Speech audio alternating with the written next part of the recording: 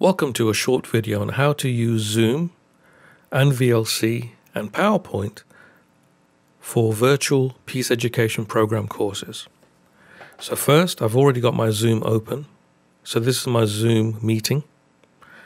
Um, I don't see my participants, I don't see my chat. So let's open up these two windows. So first I'll open up my chat up in the top corner.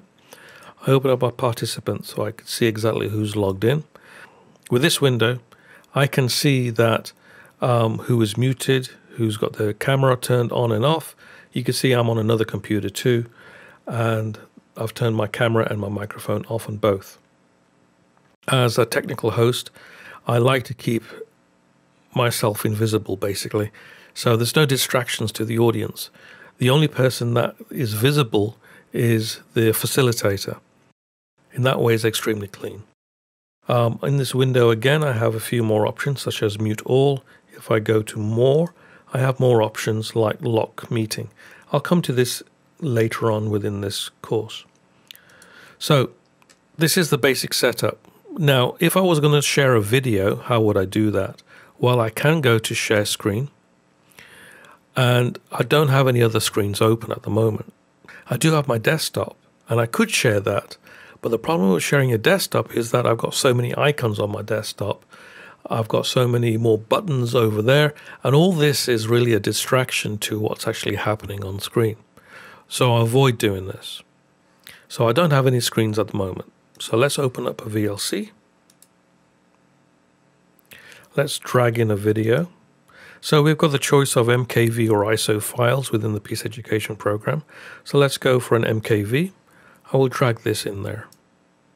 And now you can see it's opened up. The video is playing. Um, I normally pause it. Let me just downsize it a little bit and put it over here in the corner. I close my Finder window. So now if I go to Share within Zoom, it gives me a, a window called VLC. Let's click on that. Now at the bottom you've got two checkboxes. Um, first one is share computer sound and optimize screen for video clip. So let's turn both of these on. By just clicking the optimize screen, both will turn on automatically. I've got my VLC highlighted and now I could say share, but wait. I don't want to start the video halfway through. So I'll push my video back to the start. That is all ready to go. When the facilitator says, let's play video, I can share the screen share the screen, and press play.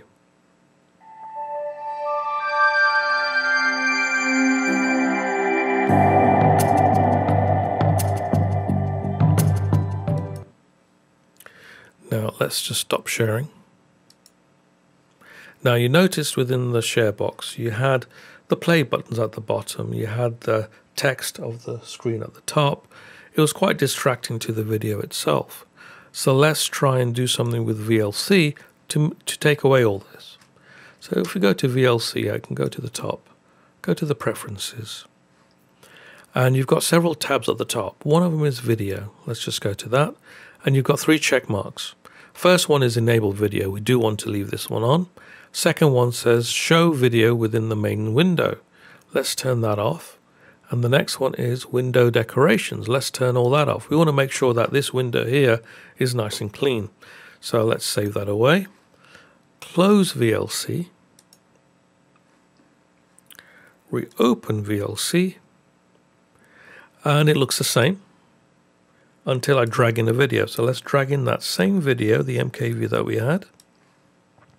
And let's see what happens.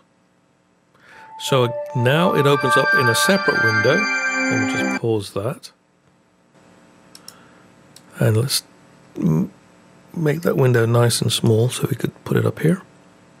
So the only difference we have between Mac and PC is the initial setup of VLC. So let's open up VLC. Then we go to Tools and Preferences. So in Preferences, we go to Interface, which is the first section. Then we go down and see Show Controls in Full Screen Mode. We take the tick mark off there. Next line down, we see integrate in interface. We take the tick mark off that as well. Next, we move over to the video tab and we take off the tick mark on window decorations. Now we just close down VLC and reopen it. We could drag an MKV into it now and you can see it opens up in a separate window. All the controls are still on this other window. So now your, your video window is nice and clean. All your controls such as play, pause, and your volume control remains on this window.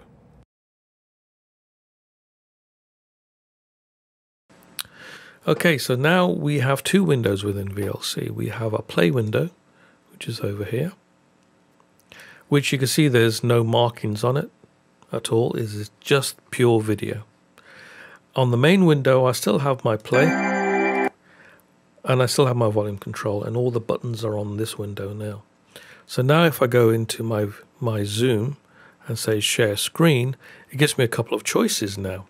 One, it gives me the standard video um, pane over here, which is the main window of VLC. I don't want to uh, share that. I do want to share this one over here, which is just the video. So let's click on that. Make sure these two at the bottom are still checked and share. Now if I go back to the beginning, press play,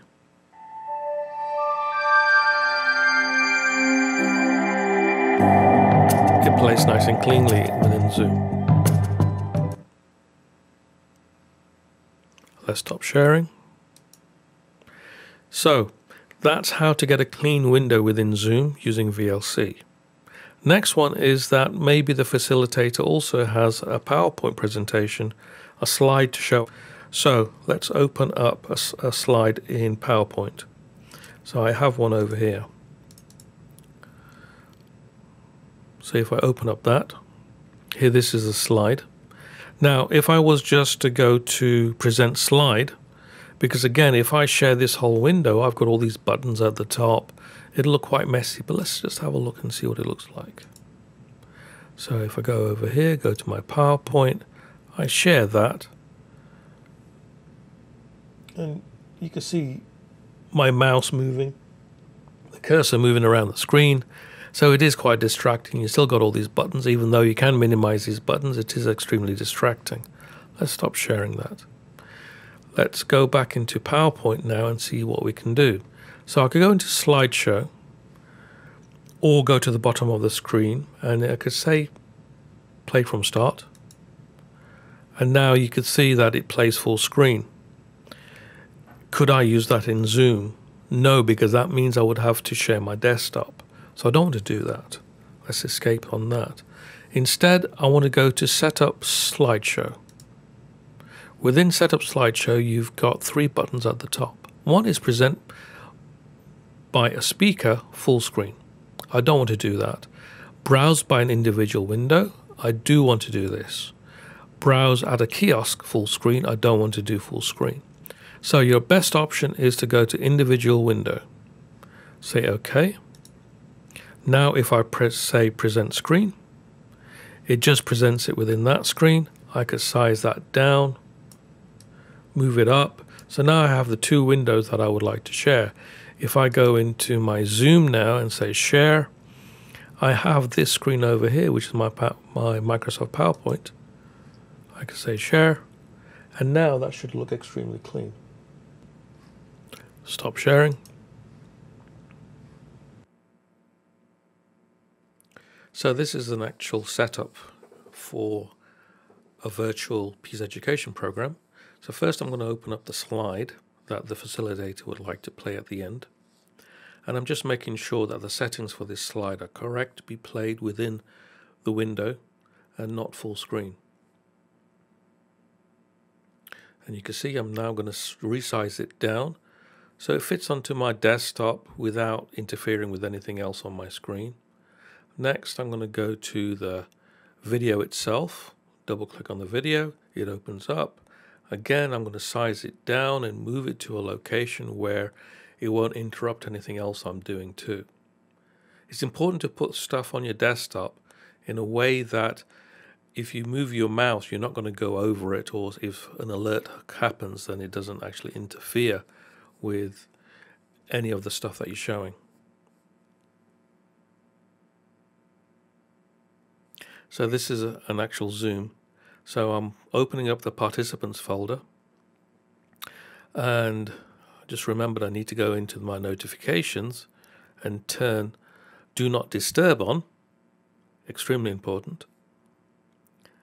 And I've got my chat window open. Now I'm going to size them up into a location where again, nothing's going to interfere with it. I could see it clearly.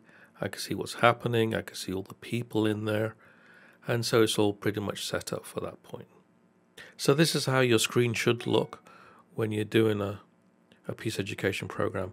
Now I've opened the, my share window and I've got the video ready. It's queued up and I've got the two little check marks at the bottom of my screen clicked and I'm ready to share. As soon as the facilitator say, says, let's see the video, I can press share and then go to VLC and press play.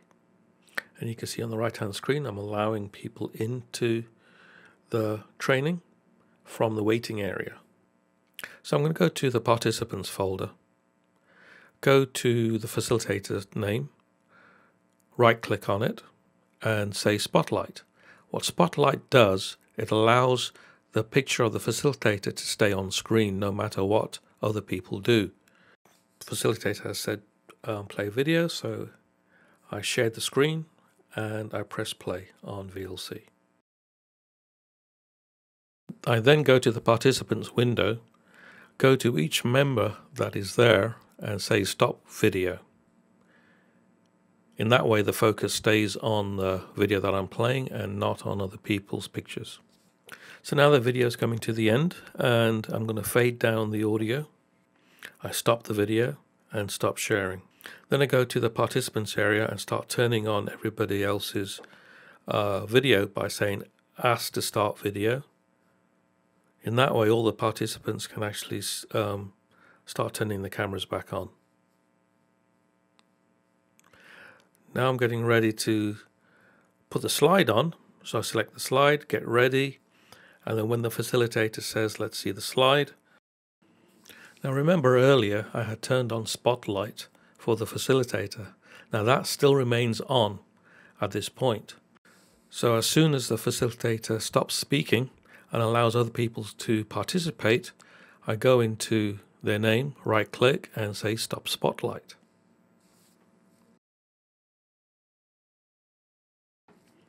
So the facilitator has asked to play the slide. So I'll go to my share window and say start. So now the slide is on.